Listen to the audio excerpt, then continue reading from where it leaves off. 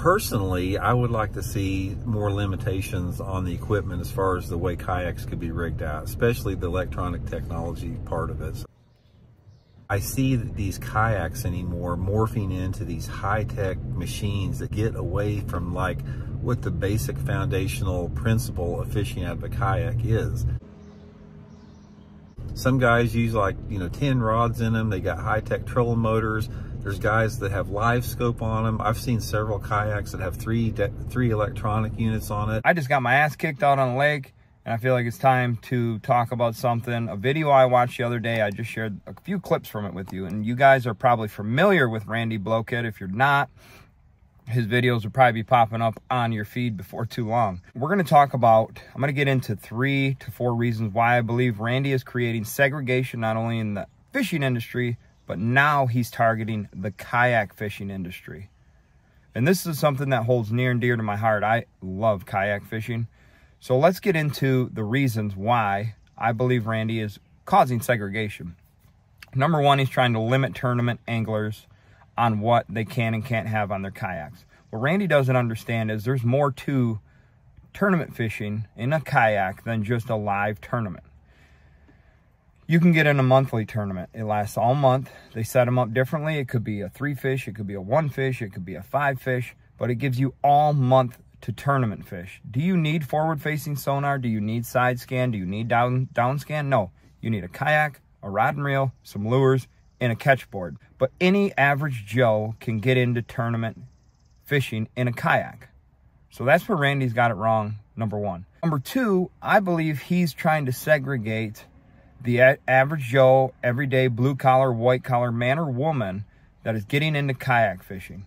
He's trying to turn us against each other because one guy may have a nicer setup than the other, and it may not necessarily be nicer, but it's how he wants it set up. I've bought multiple kayaks over the last few years. I started in a cheap Dunham's $150 Pelican sit-in style, and that's what made me fall in love with kayak fishing. Since then, I've evolved.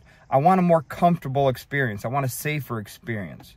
So I have evolved in fishing kayaks and I'm still looking for that perfect kayak. The one I'm in now is awesome. Is it the perfect fishing kayak? No. But I'm setting it up to my standard, how I want to fish out of it.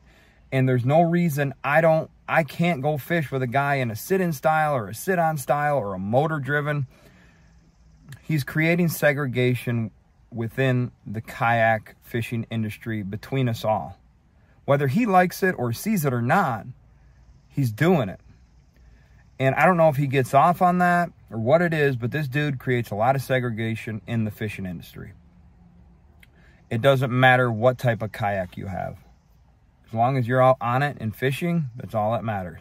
The other issue uh, that I feel like he's created that's that's causing segregation is he's giving like tricked out kayaks a bad name or a bad rap. Like it's like it's a bad thing to have a tricked out kayak. Like you work your ass off for what you have, whether you work your ass off on social media and got sponsorships or you work your ass off on your everyday job and got enough money saved up to deck out a kayak how you want to deck it out. It should not matter to me, to Randy, to my buddy Brian, to Darius, to anybody, how a guy has his kayak set up because it was his decision to do it that way. That's how he wants to fish and that's how he's going to do it.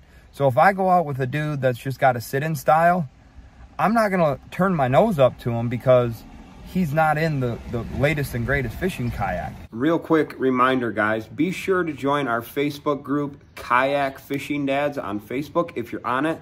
One of the fastest growing Facebook pages on the social media app. Find it, search it, Kayak Fishing Dads, join in on the conversation.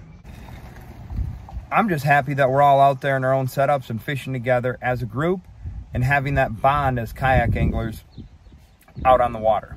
And another thing Randy doesn't understand, I guess, is kayaks these days um, are almost coming standard issue with motors, man. I mean, or it's a it's another option to add it to it, and they're coming set up to be able to quickly attach a trolling motor setup or you know one of them MK 180s uh, those type of motors the Torqeedos all these kayaks nowadays it's becoming a standard to have a motor and just because a guy decides to put his hard-earned money into getting one doesn't make it any worse or better for the industry. If anything, it's advancing the industry. It may get more people involved in it.